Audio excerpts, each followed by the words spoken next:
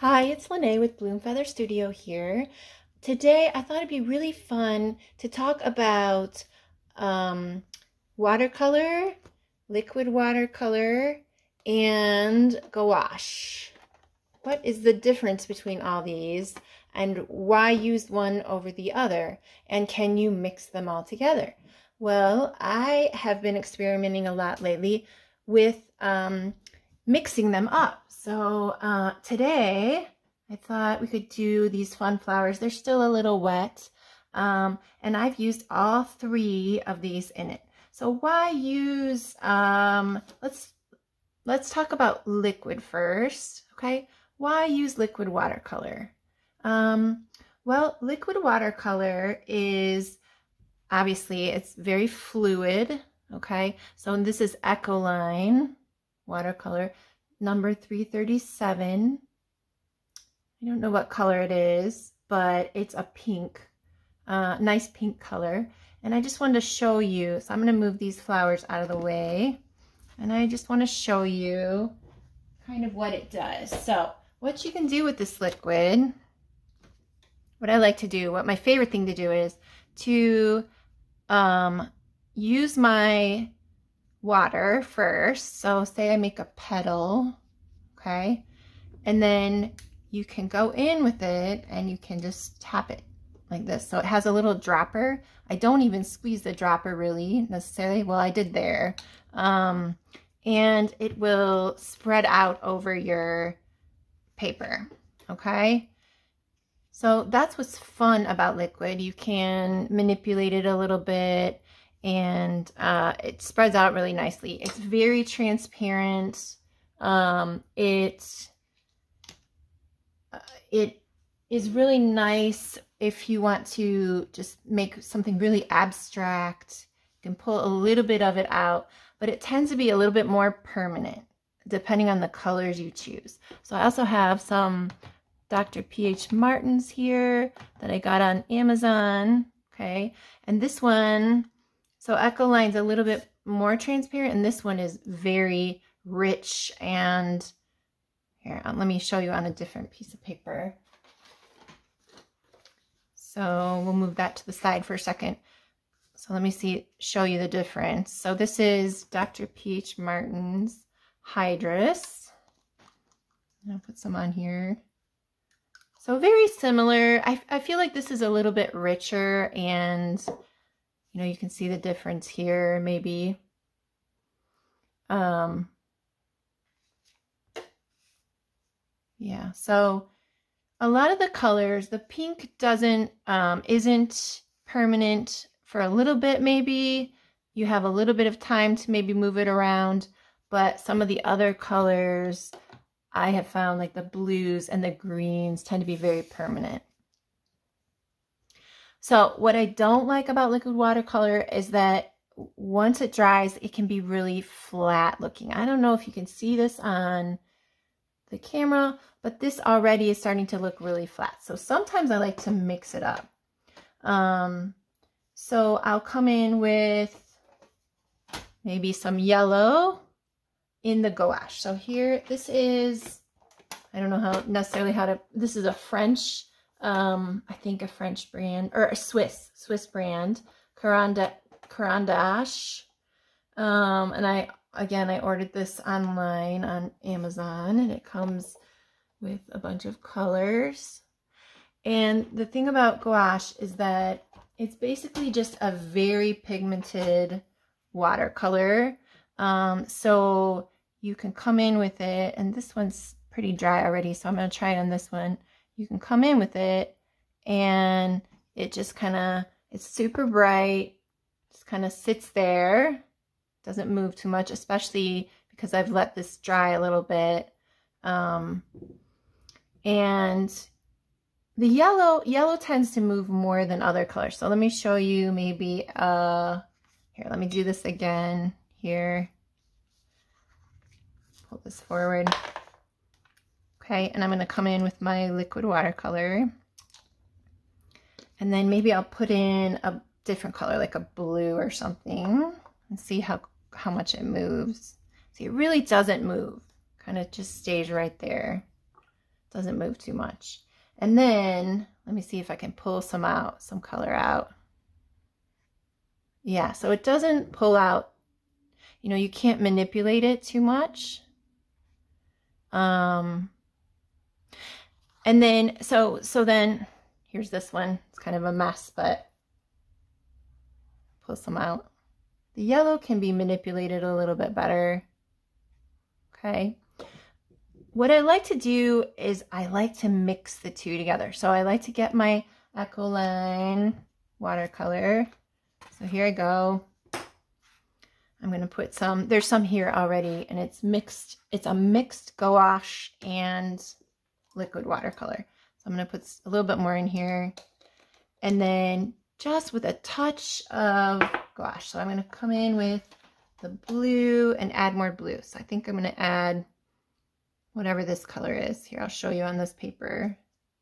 It's like a really bright, bright blue. So I'm just going to add a little bit to the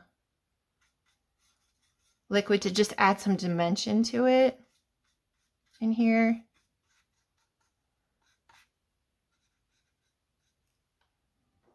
Okay. And then let me show you how it kind of looks a little different. So I'm going to, here, I'll put some water in here. Okay, so there's some water. And then I come in and I add, and I don't know if you can see the difference, but it's not as flat. Do you see how flat?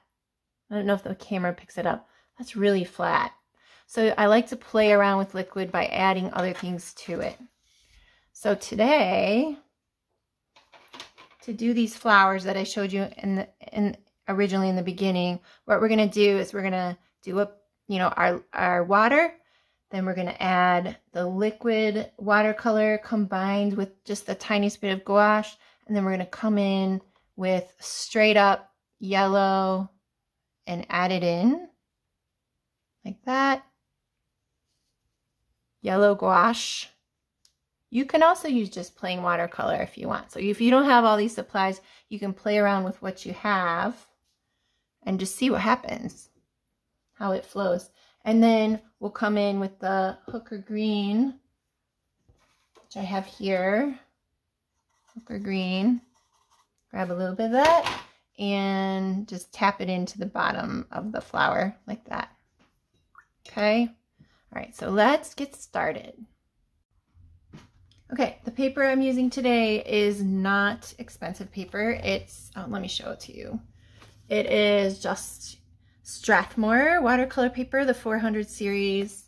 Um, I, I kind of like how liquid watercolor behaves on this paper and it's cheaper, so why not use it? Um, okay, so I'm to just clip it with a clip like that. And then, um, Again, I'm using this Ecoline number 337. You can get this at Blick or you can get it on Amazon. And then some Hooker Green, Winsor Newton Hooker Green, and um, a little bit of my gouache. So I'm to show this to you again. I'll be using this color yellow here. So it's a lemony yellow, very bright. And then just a little bit of this blue here. Um, I don't know what you know, they don't really have names for these colors. So it's, it's here in the palette. Okay. And then for my brushes, um, you can use whatever brush you want. This is my favorite brush. Three quarter inch Princeton Select oval wash brush. It's got the tapered end to it. It's really flat. You can use it both this way or on its side. And I'm going to be doing both things with it. And then I just grabbed this one just to make, you know, the tip of this. I'm just going to use this to make the stem. So this is a 5 8 inch Princeton Select. Um, I'm trying to read what it says. Oh, you guys, I don't know what, what this is. It's an, oh, it's an angle angle shader maybe 5 eighths inch so it's got an angle here it's also flat again you can use um you know just a regular round brush something with a point to make your, it that, that part doesn't matter too much. Okay, so, okay, so I'm going to use just the teeniest bit of color, but feel free to just um, use clear water. Um, I just want you to see what I'm doing. So first, I'm just going to uh, make a big petal like that. You can't really see that. Like this.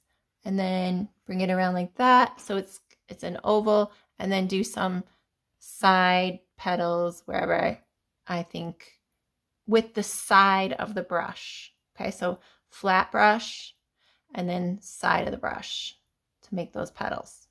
Okay, and I'm going to make five um, five flowers on here, just kind of like that. Um, okay, so let me get started here. So I'm going to start kind of in the middle. I'll do like the middle one. So again, this way, this way, and then a few side petals. Okay. And then I'm going to come in with, I'll do, I'll do three of them and we'll do it all together. So one here, maybe one facing this way. Oop, look what I did. I guess it's going to have to be there. So round or oval and then a few side petals. All points, all coming, converging here at the base of the flower. Okay, and then maybe one down here.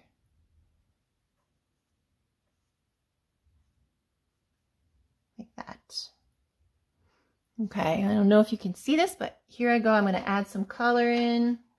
So I've got my mix of liquid and gouache. And just kind of tap it into the bottom and just let it flow. This needs a little bit more. Let that flow. And then down here, let it flow. Okay, now I'm going to rinse off my brush. And I'm going to take some of the a nice thick mixture of the yellow. So if you're using um, regular watercolor, just get a nice thick mixture.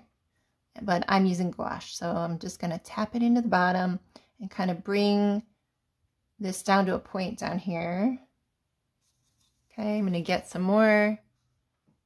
Tap it into the bottom of it. That. Get some more. and tap it in to the bottom. Okay. So they kind of, we have kind of like tulipy looking flowers here. I'm going to encourage it to flow a little bit by tipping up my, ooh, I don't like that. Let's bring it back down. Okay. And then a little bit more in here. Okay. And then I'm to rinse. Well, actually, I'm to put this down pick up my angle, grab some green. Okay, and then we don't want this to travel too much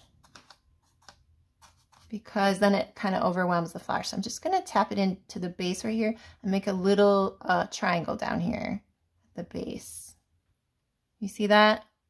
Just made a little triangle there.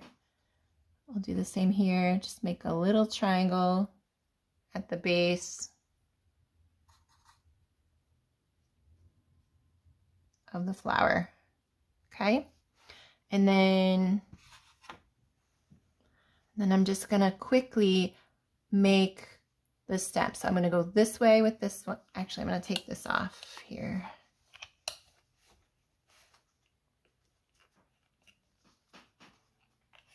Okay, so I'm to go this way with this one, that way with that one, and then I'm to curve this one around like that. So here I go. I don't know why, but I feel like I have to do it fast. So this one, I'm going to follow it here, start right about there, curve it around. Okay, now let's do the top. Just going to take off some of this color up here. Do you see how it's kind of permanent? And so even though I went in and I pulled some color out. It's still there. Okay, so I'm gonna come in now. I have to rinse this off. It has yellow on it, so I'm gonna rinse it off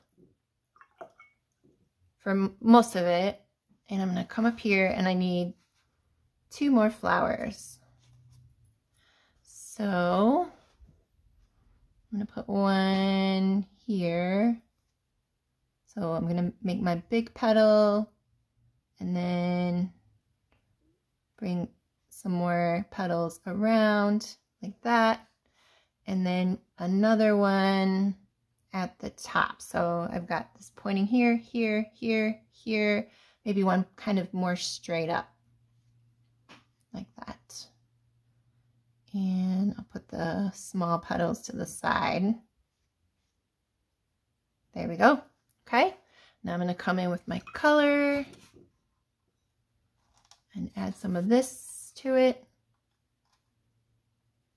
Let it flow.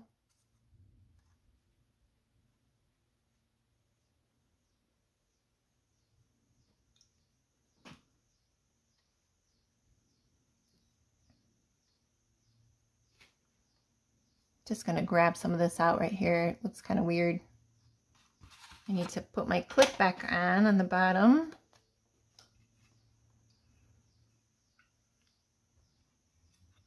Okay, and then come in with my yellow. I think this needs a little help here, so I'm gonna, there. Okay, come in with my yellow. I'll show you what I'm doing. Tap it in.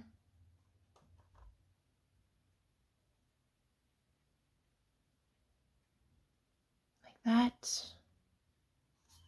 And that looks pretty.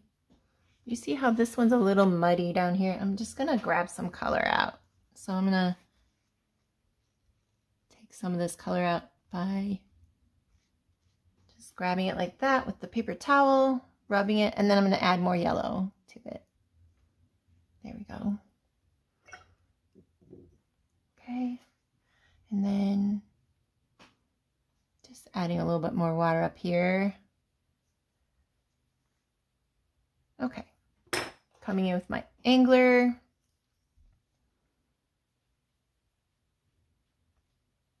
Making my V. Bringing this down.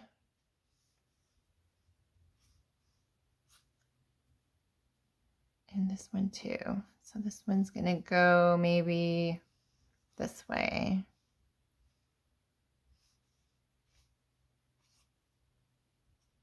Something like that, okay? So there we have it. take this up a little. Bring these colors down a little bit. Okay. And I think the best advice is to mostly just leave it. Um, I think the more that you mess with something like this, um, it just, it's, it's better if you leave it. But seeing as I said that, I'm going to come in and maybe add a couple more petals here and there. And you'll see, maybe I'll mess it up. Okay, so I'm just going to let that dry.